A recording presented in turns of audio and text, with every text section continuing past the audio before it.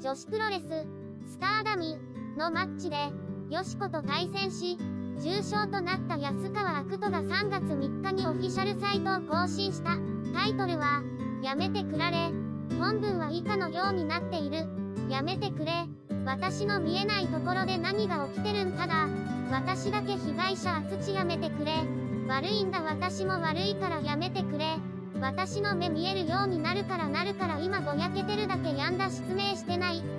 からやめてくれ私を被害者扱いしないでくれお願いだ頼むお願いします。文章は入力ミスが目立っていて、まだ手術をしたばかりで視力が完全に回復していないことが伺える。